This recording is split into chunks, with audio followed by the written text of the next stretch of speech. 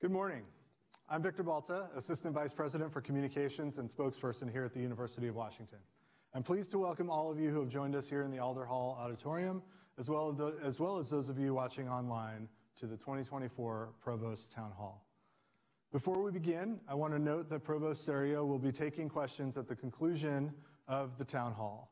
For the sake of fairness between in-person and remote in attendees, we ask that anyone who has a question to submit it to provost at uw.edu.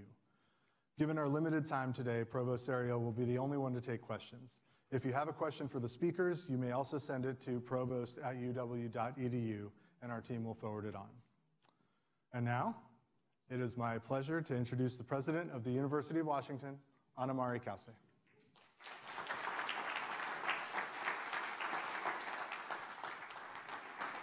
So nice to see you all.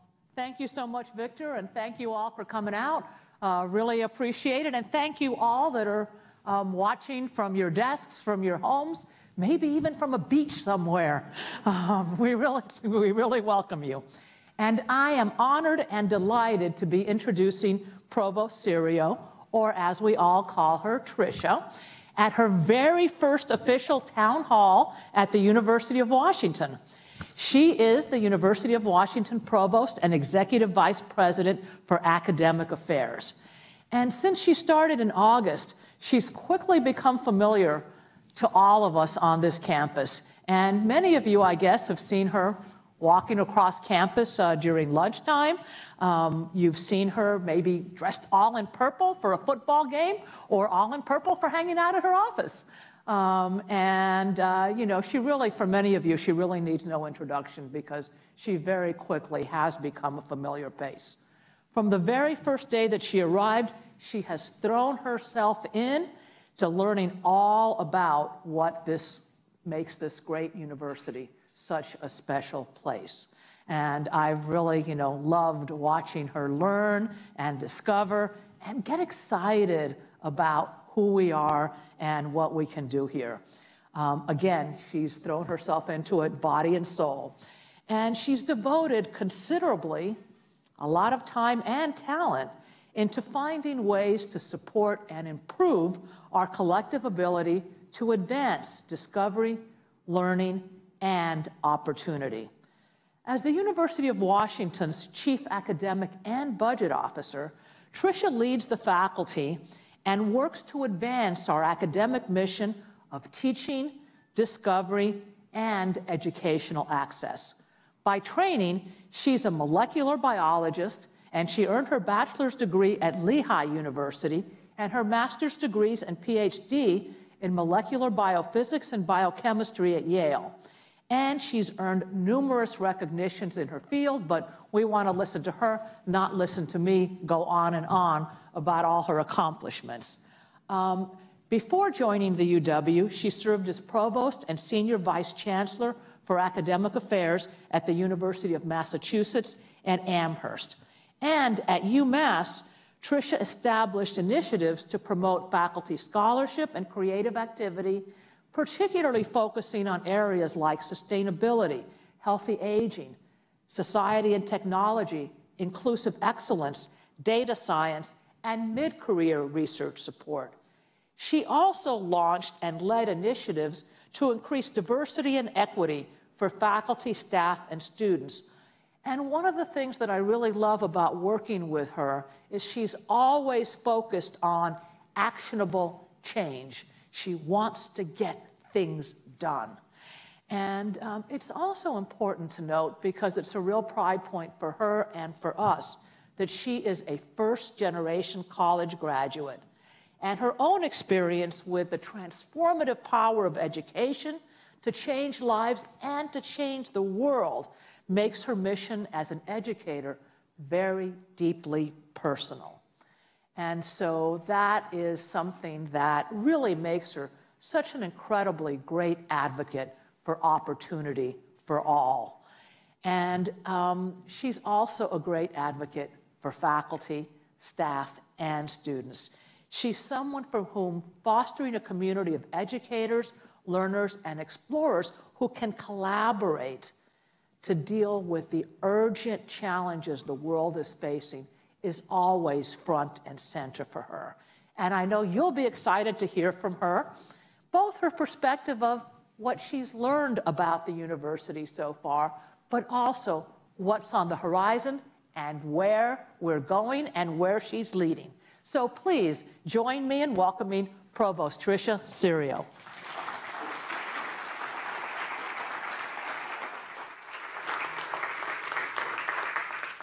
Thank you so much, President Cauce, uh, for that warm introduction today and for the introduction to this amazing university over the past six months. It's been absolutely wonderful.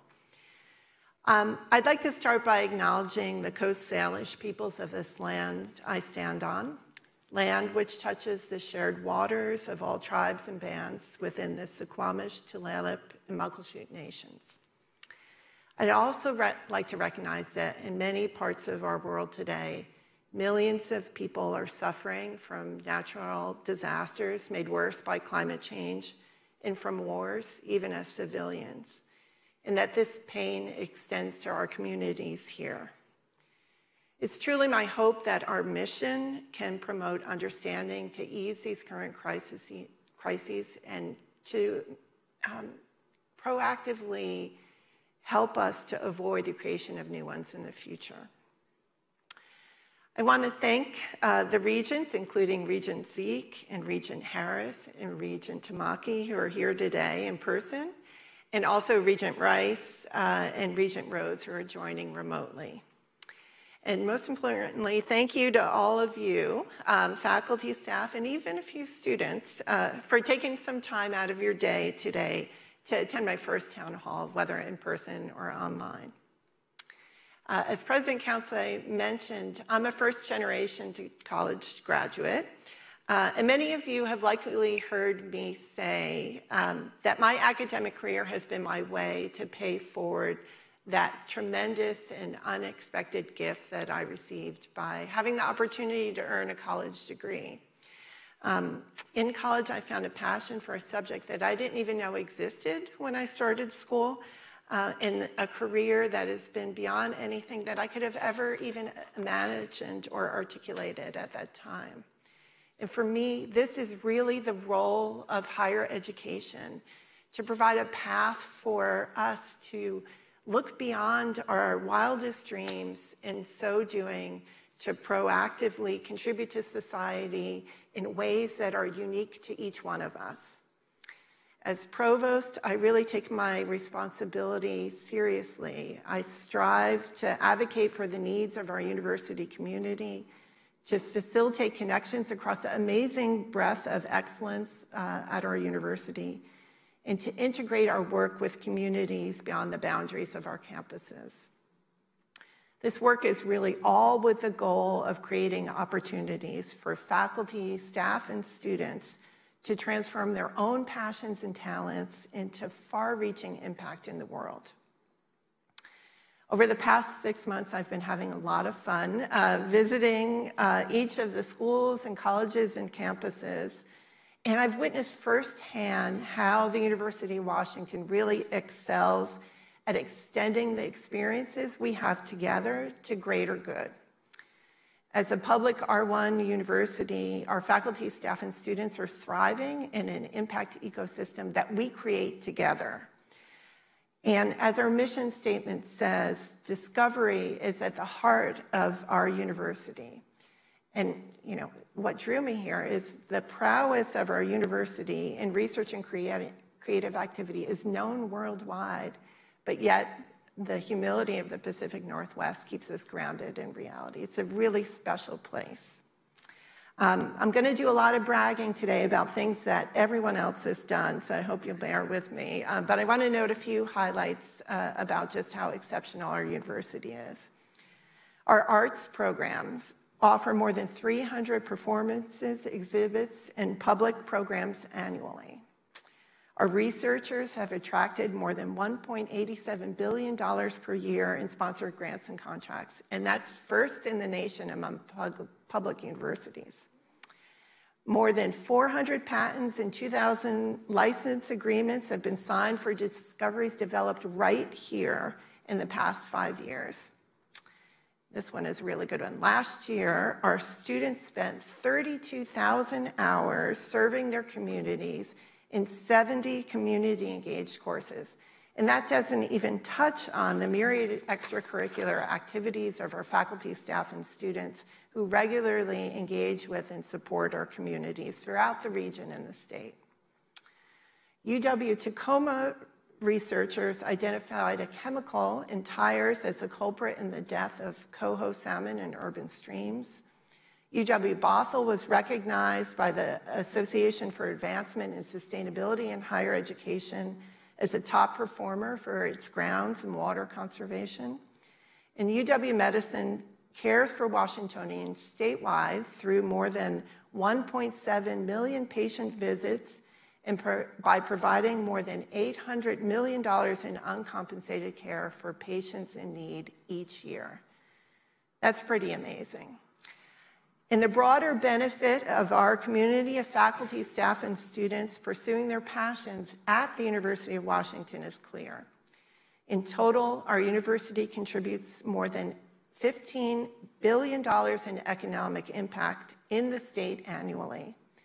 And nearly 82% of our undergraduate students choose to stay in the state of Washington when they finish their degrees. We're state of Huskies. uh, while these statistics are impressive on their own, what has really been truly awe-inspiring to me as, as I've gone around and, and met with everyone is the stories that create this impact. Recently, I visited uh, the robotics lab in the Allen School, and I heard about a robot that was promoting autonomy for a stroke survivor who is um, a non speaking person with quadriplegia. Um, this robot, beyond the daily routines, uh, is helping him form a relationship with his toddler granddaughter by giving him the ability to play games with her for the first time it was just absolutely spectacular. Um, and the group is really excited about the potential of this technology as a way to extend occupational therapy in a new direction. Um, and this is just one of the many, many examples I've heard about in the ways in which our expertise can be transformative in people's lives. While opportunities like this abound on our campus, it is so important for us to remain dedicated to keeping this world-class education accessible to Washington residents. Did you know that three quarters of our undergraduate students are from the state of Washington, hailing from all 39 counties? That means that we have 32,000 students from Washington studying at the University of Washington, and that's the largest number at any university in the state. Three quarters of transfer students, uh, applications from Washington community colleges are offered admission to the University of Washington. In state, um, tuition and fees are far less than most of our peers, including the University of Oregon, which I've learned not to root for, um, and UCLA. Um, and, and, we have better uniforms, I'll just say. Um, and uh, 64% of our undergraduate students receive some form of financial aid. And that totals $450 million per year, including $120 million in institutional grants and scholarships to Washington's residents. Uh, nearly one third of our students receive support from the Washington College Grant and 22% from the Husky Promise, which covers all tuition and fees for Washington students with financial need. That's pretty amazing. Um, and we serve these students amazingly well in their Husky experience. 83% of our students graduate within six years, and nearly 85% of our graduates are employed or pursuing further education within months of their graduation. And here, too, the student stories are really uh, inspiring. Um, on my visit to the College of the Environment, I met with a group of first generation college students on the Rachel Carson. And I heard about how their opportunity to sail on that research vessel and to participate in projects through the Geoduck program helped them to find community at our university and also to realize for the first time that a career in science was accessible to them. As they shared their experiences, I was having flashback to my own, um, and I could just see their excitement and the transformative impact that that experience and others like it can have uh, for our students. I'm certain that you share my deep dedication to our mission and are motivated and inspired by these examples of our success.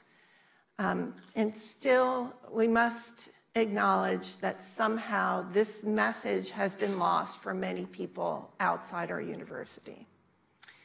As, we, as we've seen with an alarmingly increased frequency, universities, both public and private, across the country are under heightened scrutiny. And I'm certain that you've joined me in witnessing this rapidly shifting narrative. But even if we discount the past few months, uh, a Gallup survey last summer showed that Americans' confidence in higher education has fallen to 36%. And that's down from 57% just eight years ago. I've been thinking and talking with many of you about this higher education narrative over the past months. Um, and I, I've just been really deeply disappointed in it because the public perception just diverges so wildly from my own experience. Um, so I've been reflecting on this a lot. And what I've come to realize is that while our mission is unique in society, our place in the world doesn't place us above reproach. I think it instead holds us to a higher standard of responsibility, a dedication to critical thinking and assessment, and ensuring that we double down on the things that matter student success, affordability, research in areas of critical importance to the health of people and our planet, making democracy in our world better through open dialogue that values the perspectives of all. Every major piece of art and literature created every performance conceptualized, every discovery revealed, every technology developed came to be because someone looked at our world in a different way and chose to act. If we're to exist for the public good, we must protect and embrace the diversity of perspective of our faculty, staff, and students, and partner with society at large, both locally and globally, to prioritize impact that is accessible to everyone. We have, and we will continue to be challenged to do this, but if we truly believe in our mission, we must find ways, even if they're incremental, to continue to be in dialogue with one another as a model for the world. This is our responsibility. So in this context, I want to take a moment to just thank the Jackson School for International Studies and the College of Arts and Sciences for organizing a lecture series on the war in the Middle East. If you haven't been able to attend, I really encourage you to watch them online. They've been fabulous. I also want to thank the libraries for creating a research guide on the Israel-Hamas war, the law school and the School of Social Work for resources to develop skills and community dialogue, and the Faculty Senate for their partnership with me in organizing two upcoming workshops on free speech and academic freedom through PEN America. These are really important examples of the way in which we can leverage our mission to address the challenges our world faces through action rather than words alone. Why is this so important? I firmly believe that together we have something absolutely unique to offer the country and the world. At no other time in the history of the world will this group of people be working together in the same place and have the opportunity to co create together. And we can only unleash that amazing and tremendous potential if every one of us has the freedom to contribute. In her annual address this year, President Cauce challenged us to ask ourselves, what does the world need from this enduring institution in order to meet both the urgency of this moment and the challenges of coming eras that we can only imagine? Over the past few months, I've worked closely with the, my leadership team to articulate this responsibility for academic affairs. Um, and through much discussion, we've come to frame it through four guiding principles. Together, we strive to center an inclusive tri-campus community as the foundation of academic excellence. We cultivate partnerships to co-create equitable impact. We create opportunities for individuals to explore and pursue their passions by unleashing creativity and innovation. And we connect all aspects of our mission research and scholarship, teaching and learning, service and outreach to fulfill the vision of our public mission. As I visited the schools and colleges and campuses, I've seen firsthand these principles in action already through so many innovative programs, and I'm going to brag on them again here. Um, but I really encourage you to learn more about them. Some of the highlights over the past couple months for me have been the College of Education's teacher preparation programs at the Othello UW Commons, the School of Social Work's behavioral health training for firefighters throughout the state, the Husky Post Prison Pathways program to create routes to and through the university at UW Tacoma, the Policy Consulting Lab at the Evans School, the School of Nursing's yearly camp to expose high school students to the profession, the STEM Public Outreach team of student ambassadors at UW Bothell who share presentations with the K-14 community, the Misinformation Escape Room created in the iSchool to build resilience to misinformation. Um, students in the School of Public Health who use their practica to improve access to mental health care for mothers, the strengthening of tribal institutions through the Native Law Center and the Law School, the Foster School Liberty Project to accelerate the growth of Black-owned businesses in Seattle, and the School of Pharmacy's Global Medicine Program to improve access and affordability to life-saving therapies around the world. I've also been so deeply moved by the School of Dentistry and the School of Medicine's dedication to rural healthcare through training, both within our state and across the five-state WWAMI region, respectively. And here I want to share one more story about the Nehemiah Initiative in the College of the Built Environments. On my recent visit, I heard from students across all the degree programs in the college who work together with faculty and community members to support local churches. Their goal is to disrupt the displacement of African American communities in Seattle by developing design concepts and recommending policy changes to facilitate the conversion of their unused land assets to affordable housing and community centers and businesses. The teams are really energized by integrating their unique perspectives and expertise in these holistic projects that really have the potential to transform communities.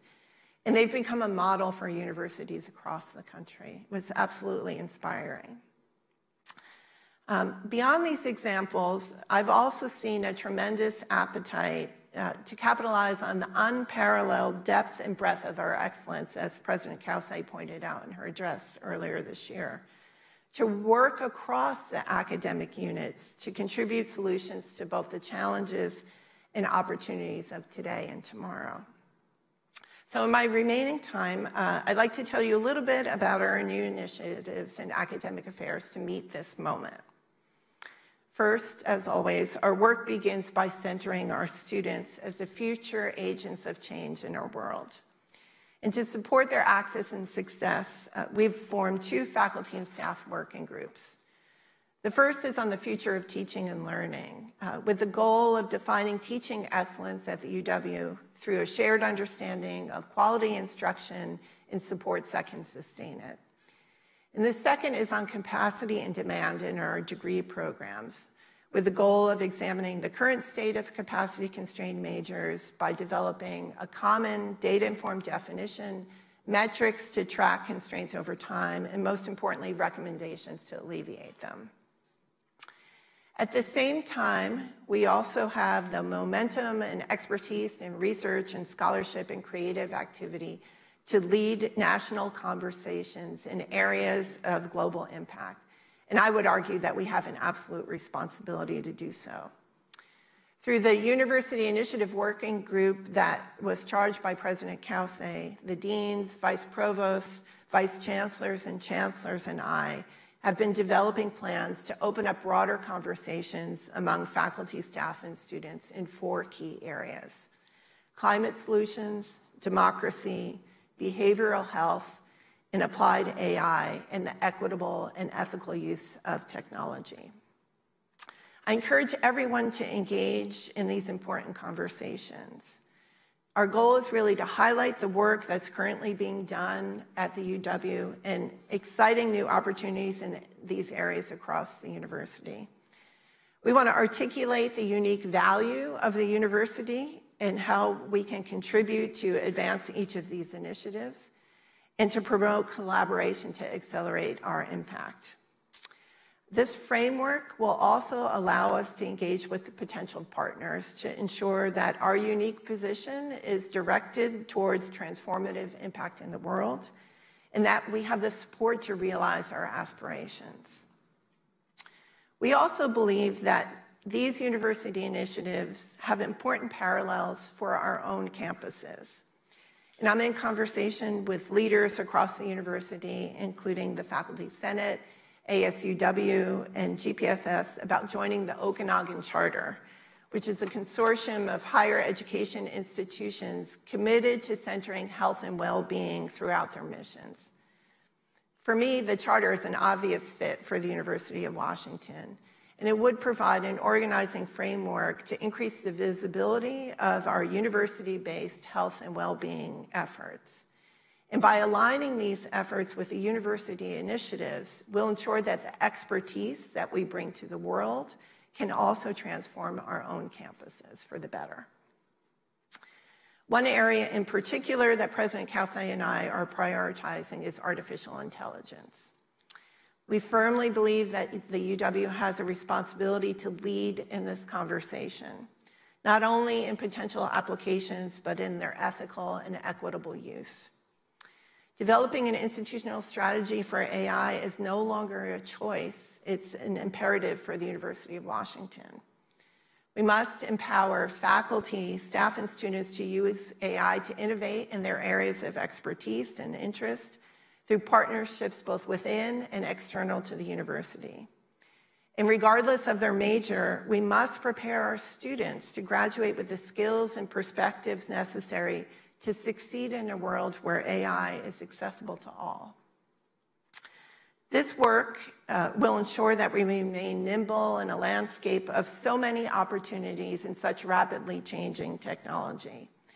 This is a conversation that I firmly believe everyone in our university can contribute to and lend their expertise to shape the future of our world in very important ways. So today I'm pleased to announce a university-wide task force on artificial intelligence to build on our distinct opportunity to transform not only the university but our society through both foundational and use-inspired AI research and application. The task force will be co-chaired by Vice President for UW-IT, Andreas Bohman, and Dean Anind Dey of the iSchool, and will initially divide its work into five areas research and knowledge creation and transfer, student services, teaching and learning, infrastructure, and administration. More information about the task force can be found on the Provost website, and I'm grateful to all of you who will participate in this important work. And now, uh, to provide a frame for our opportunities in this area, I'd like to welcome two UW experts in AI. First uh, is Noah Smith, who is a professor in the Allen School and Senior Director of Natural Language Processing Research at the Allen Institute for AI. Professor Smith is a computer scientist working at the junction of natural language processing, machine learning, and computational social science. And Andy Connolly, who's an associate vice provost for data science and director of the eScience Institute and the William P. and Ruth Gerberding University Professor in the Department of Astronomy. Professor Connolly uses advanced image analytics, deep learning, and cloud computing to advance cosmology and solar system science through the design of some of the largest astronomical surveys in the world. Noah will address how the UW is situated as a major contributor to advances in AI and a potential leader in promoting AI literacy. And then Andy will address the potential for AI to support our mission across campus. So I invite Noah to join us. Thank you. Thank you, Provost Serio. Uh, I've been tasked with explaining artificial intelligence, and I've been given 10 minutes. Um, so uh, my, I was tempted to try and give a lecture, but my students talked me out of it. Uh, so I'm going to do my best with the time I have. And if you want a longer discussion, uh, go online, search for Language Models, A Guide for the Perplexed, which is a tutorial that two of my students wrote with me recently to, uh, to introduce this important topic to a wide audience. The term artificial intelligence is all over the place these days, uh, but, but people don't always use it to mean the same thing. Uh, when we talk about AI, I urge everyone to remember that it doesn't refer to any specific technology or capability, just like the term intelligence is used to refer to a nebulous set of characteristics in people. Um, I think of AI as actually more of a brand than a technical thing. Uh, further, the relationship between natural intelligence and artificial intelligence is hotly contested by experts. Lots of different opinions about this. Uh, one example, uh, you've heard of language models, big part of the, the current conversation about artificial intelligence. Uh, these are a much more precisely definable technology, but not all AI is language models, and language models are not used in every AI system. I think language models and the commercial products that are built on them, like ChatGPT and its rivals, are one of a few key technologies that are bringing a lot of attention to AI right now, especially on university campuses, but they're not actually that new an idea, as we explain in A Guide for the Perplexed. Though the companies selling language models uh, go out of their way to avoid talking about their limitations, there's still quite a lot that these tools are not able to do right now. Uh, and I would say that characterizing the abilities and the limitations of language models is an active scientific research area, uh, and it's not clear that the purveyor's uh, interests are well served by a deeper scientific understanding by the rest of us. So I think it falls on us at the university to do this work. Language models are essentially models of fluency. They predict what word is likely to come next after a sequence of words. For researchers in my field of natural language processing, it's amazing and quite surprising how far fluency with language can go. Many people are finding useful tools hiding in language models that researchers could have only dreamed about building just a few short years ago. We're still learning about this, but it's important for all of us in the scholarly community to remember that everything the models can do follows from what they are explicitly originally designed to do predict the next word in a sequence uh, of words in English or other languages, um, and the data that was used to help them achieve that goal. It turns out that very high fluency creates some semblance of world knowledge, common sense, and even reasoning ability. And we can be surprised by this without believing that the models are magic, as a lot of the press narratives would have us think. The better we understand a technology, the better we can steer it towards goals that we care about. University of Washington faculty have been at the forefront of these recent fundamental advances for quite some time. For example, the famous ELMO paper ELMO stands for Embeddings from Language Models, uh, was published in 2018. Um, and it was it kicked off the language model craze. It was authored by Luke Zettlemoyer and other researchers here at the University of Washington and researchers at the Allen Institute for AI. Um, more recently, we've released um, uh, new open language models that will enable scientific study of the models themselves alongside the data used to train them.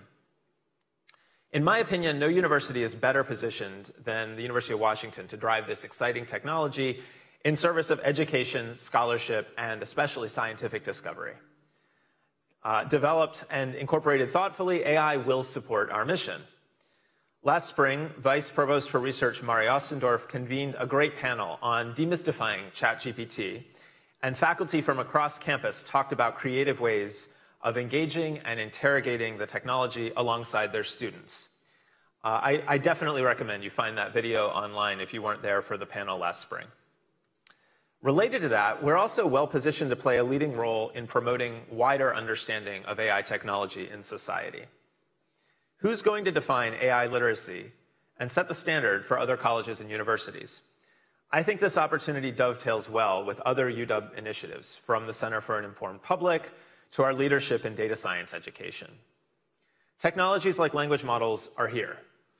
They're not going away, uh, and it's our responsibility to work together with our students to define how they can be appropriately used and improved. And I look forward to talking with all of you more about this as this new uh, focus on AI grows at UW.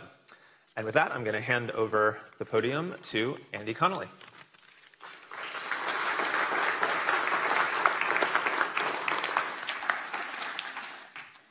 Thank you, Noah. So Noah had the opportunity and the challenge to cover the whole of AI in a few minutes. I have the challenge of covering the whole of AI across our campus in a few minutes. So you may want to play this back at half speed um, after the fact. So, and, and the reason for that is if we look at our campus, AI in all of its forms is already touching our research and education mission. Uh, two years ago, so before all the excitement about ChatGPT and the language models that Noah was talking about, two years ago, as part of an initiative called Discovering AI at UW, over 300 researchers came together on campus. And we talked about how we teach AI, how machine learning can be used in medicine, how the latest advances in natural language processing and computer vision might drive new research in physics and biology and more broadly. And in fact, one of the, um, one of the outcomes of that meeting, and again two years ago, was an informal working group to start thinking about what would a curriculum look like for this university that would teach AI and in particular, curriculum that doesn't just focus on STEM education, but thinks about the university as a whole. Today, there are 12 centers, in fact, over 12 centers and institutes on campus that address AI across a vast range of fields, from um, intelligent and smart technologies for agriculture to um, uh, understanding the needs of the language and uh, needs of uh, children. Um, David Baker and his group use generative AI. So generative AI is the same kind of principles that are used within the language models in ChatGPT that Noah was talking about. But David Baker's group uses generative AI to design proteins, proteins that can be used for medicine and in drug discovery. Uh, Steve, um, Steve Brunton and Nathan Kutz, they lead an institute that are building advanced machine learning tools that are designed to control complex physical systems that we now use in neuroscience and fluid dynamics. Uh, um, Marine Denolle in Earth and Space Sciences has been working with AI to try to understand and predict how earthquakes and seismic waves propagate through the Earth. Uh, Yejin Choi from the Allen School and the AI2 has shown that if you combine text with images, they reinforce each other allowing us to better mimic how people gain knowledge and understanding about our universe. About our universe. And um, Min Sun from the College of Education has just started a program to understand how AI can be used to derive lesson plans for teaching mathematics in, uh, in high schools, bringing the idea that AI might help us create personalized um, education for our students. And this goes along with what Tim Althoff has been doing in, in the Allen School, where he is using personalized medicine, how we can treat um, issues associated with, or use AI to treat issues associated with uh, mental health issues. So, as Noah has said, UW is a leader in this field, both in the development of the techniques and the methods, but also the application of these techniques to solve problems across the whole of the campus. We use AI today to accelerate our discoveries. We use AI to amplify our creativity. But with leadership also comes responsibility. Universities are somewhat of a unique space, right? We bring people and ideas together to commingle. And I think the University of Washington is, particularly, this is particularly relevant for the University of Washington, where um, collaboration is really at our core. We're not driven to make money from AI, which means that we can be open and transparent about what AI can do, which, as Noah has shown you, is a lot, but also what it can't, which Noah has also shown you is a lot. We're broad. We will train the next generation of students who will take AI and apply it across all fields. But at the same time, in educating them, we expose our students to philosophy and art and policy and law, as well as ethics and teaching them mathematics and computer science. So we have a responsibility to educate our students so that they're capable of imagining what AI can do, how it can be deployed to solve problems, and as they move into the workforce, so that they can help organizations to, be, to adapt and evolve um, alongside AI. And our, our role as a university has always been to create a workforce populated by individuals. Individuals who are intellectually nimble, who are curious, who think critically. And I think even in the era of AI, this remains the same mission that we have for our university. And in fact, maybe it becomes even more important as we see AI emerging. So if we're to develop a responsible approach to AI, we need to be, continue to be at the forefront of the advances in AI. And this means the advances in methods, in the application, and in education. Education meaning both how we teach AI and how we use AI to teach our students. Doing so is important for society, but it's also important for us in terms of our roles as educators and researchers. And it's in this way uh, that I think really touches on what one of the key points to Noah's remarks is we, if we do this, then we get to decide what an AI literate student body and workforce looks like both today and in the future. So I hope as we begin to build out this program for AI across campus that you will feel both welcomed and empowered to be part of these conversations and discussions to talk about the challenges that we face from AI, but also to discuss the opportunities that we have from AI to transform how we act and work as a university, both in our mission for education and research. Because I think in that way, we then get to define and build a community that reflects our values as a university and our values in education, in research, and creating this workforce that won't just use AI, but will drive it forward in ways that are responsible, understanding what it can do, understanding what it can't do, and understanding how we engage with AI and empower our students uh, to engage, engage with AI in the future. Thank you.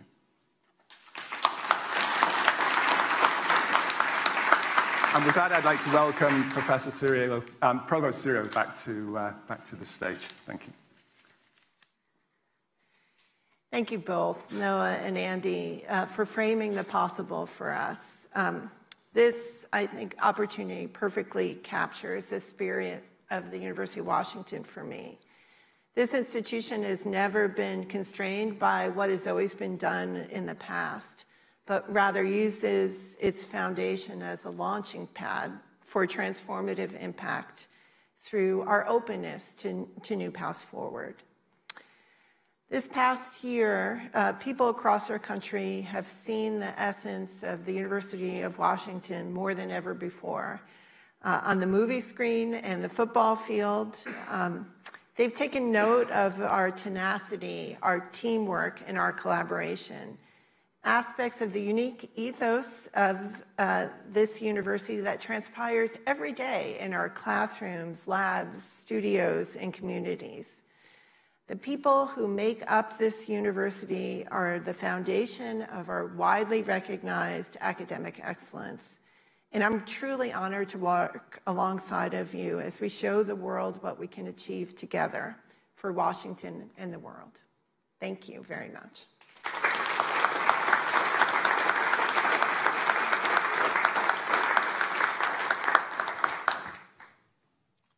Thank you so much, Provost Serio. Um, so we now have uh, some time for questions, and I'll begin with a selection of questions that were submitted by members of the UW community prior to today's town hall, and uh, these have been edited for length. Uh, in, in, some cases, we had multiple uh, uh, questions on this similar topics, so we kind of summarized in, in some cases.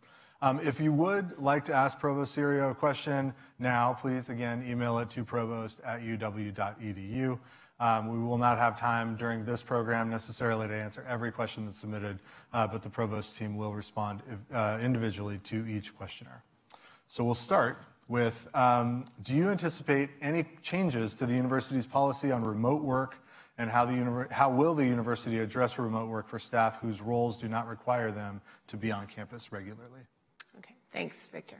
Um, so, you know, coming out of the, or, or through the pandemic, I think we've realized the, um, the benefits of, of having uh, remote options, right? It decreases uh, environmental impact by reducing commuting, promotes work-life balance and flexibility for people.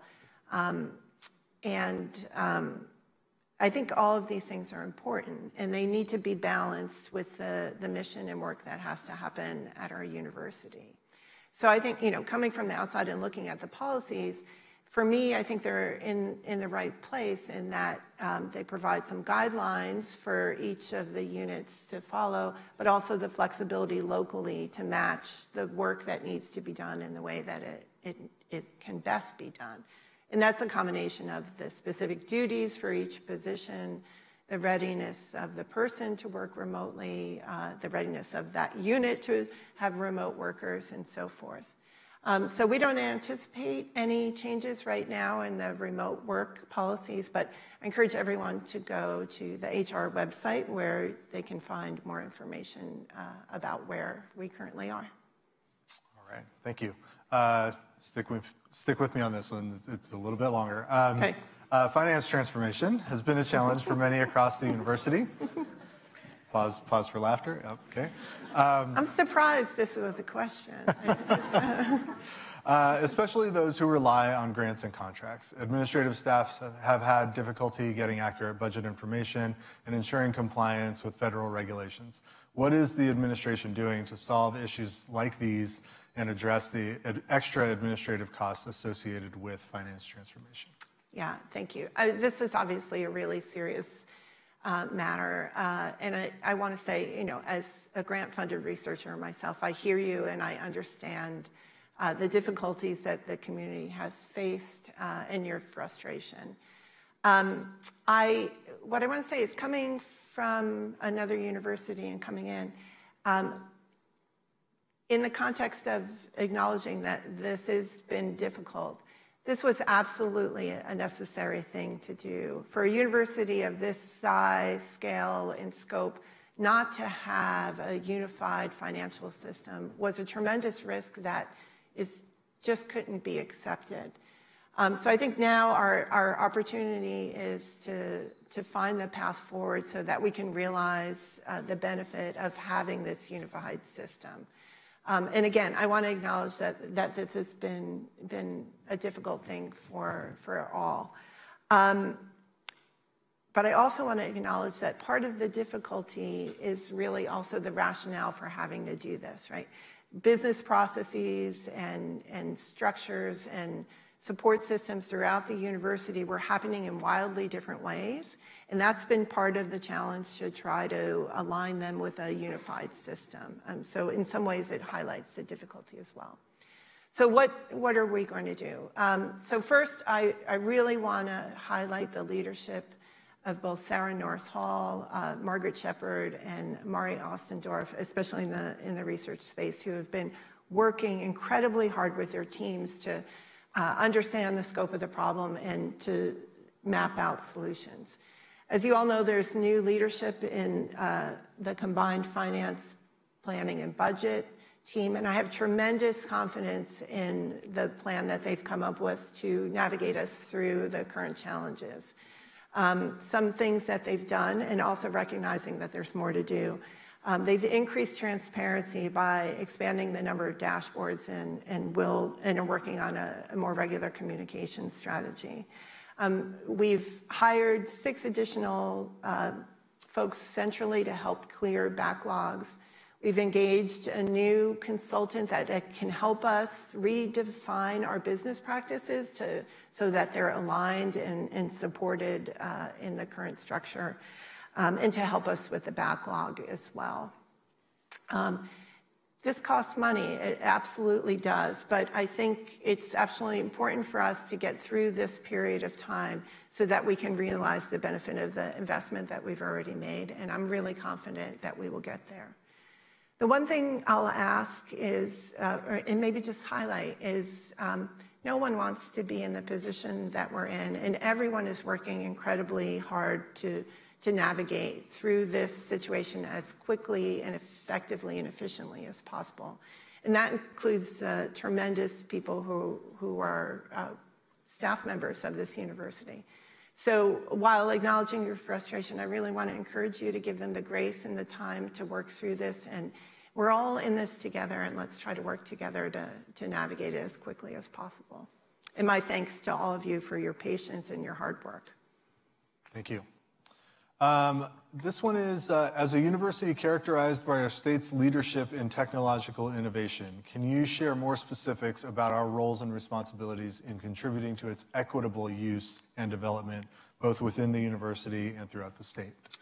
Absolutely. Thanks for this question. This is something that's really important, and I think it highlights um, the comments that, that Noah and Andy shared with all of us.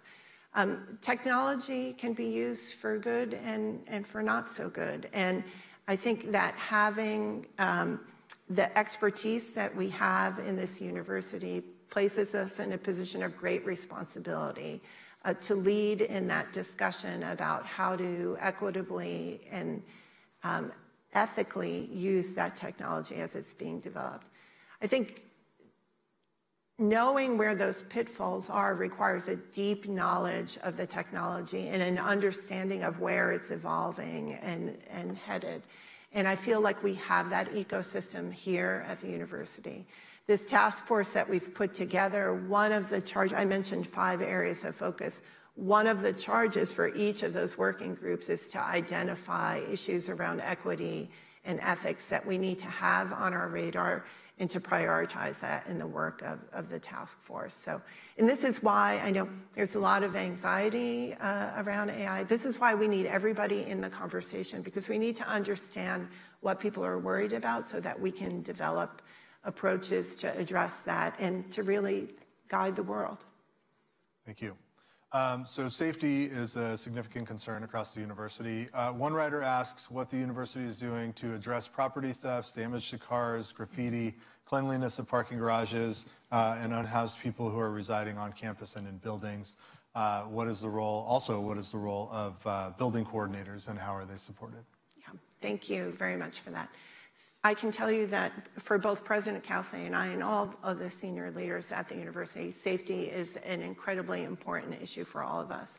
One of the very first meetings that I had when I came uh, to the university in August with, was, was with Sally Clark and her team, and I'm grateful for her leadership in this space. Um, the reality of the situation is, you know, the impacts of the pandemic on mental health more broadly um, the economic conditions of our country, the rise of um, addiction, and, and, many other issues are, all converging, uh, especially in urban centers across the country. And our region is certainly uh, not immune from that. We are a public university, and so we are in community with our surrounding area. And so um, we need to work on these issues together.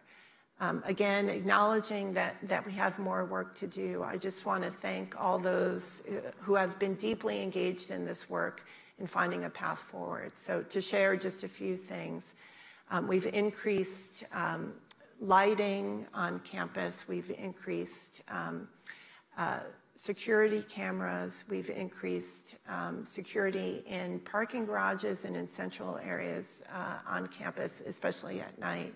We've trimmed back vegetation to increase visibility. Um, the UW alert system has been changed for students to opt out, so everyone's enrolled and they can hear about emergencies in real time as quickly as possible. Um, I also um, want to acknowledge the, the important role of building coordinators here. Uh, UW Facilities is engaging more directly with them. And also, I want to acknowledge our custodial workers who are often on the front lines uh, of issues in buildings. Uh, and we very much value the local work that is being done, uh, and we'll do what we can to support you centrally. And and I feel like that network is, is very well connected. I also want to highlight uh, one thing that we've done is hired a, a, outreach coordinator to support people who are experiencing homelessness or are unwell in our campus spaces. So if you see one who, someone who's in need of services and support, please call the UWPD uh, non-emergency number uh, to connect them with our, our outreach coordinator. Um, part of, of taking care of our community together. All right. Um, I think we can fit in two more, but um, okay. we'll, we'll, we'll, go with this one first. What efforts will the UW make toward carbon emissions reductions in the coming year and years? Yeah.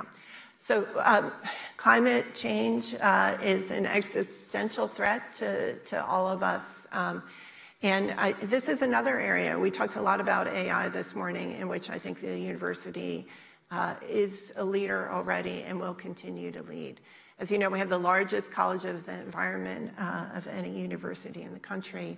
Um, and we're already uh, leading the conversation. For example, we're a founding member of the New York Climate Exchange, so we're going to be in the lead of developing solutions there.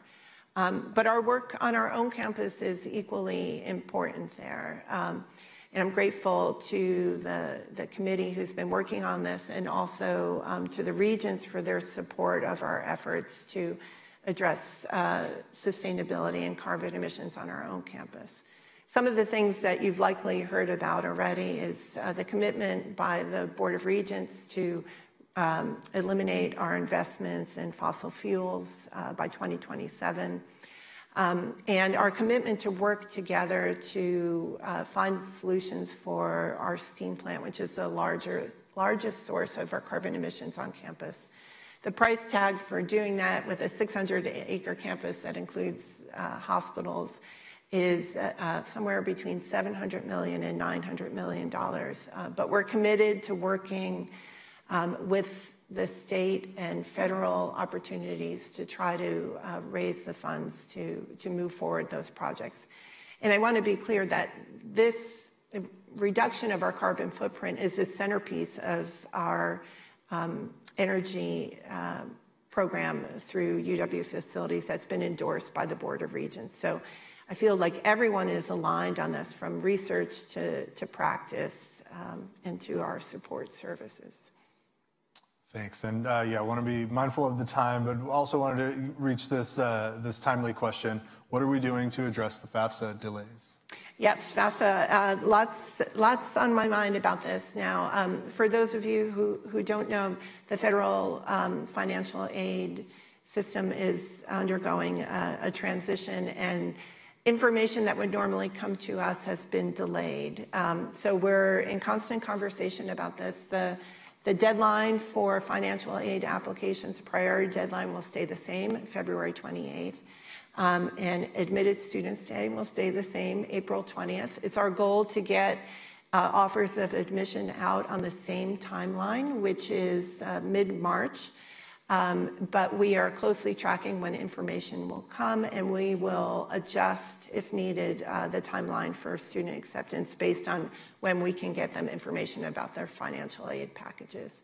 Um, we want everybody to know that we'll work through this just like every other university in the country. And for anyone who has questions, just please stay in contact with us, uh, and we'll share information uh, as quickly as we can. Okay, our time has come to an end. Thank you, uh, Provost Serio, and th thank you all for joining us and uh, taking part in this important conversation. Uh, for those in attendance, we invite you to a reception in Alder Commons that is just through the doors at the back of the auditorium. Thank you all. Go Huskies. Thank you. Go Huskies.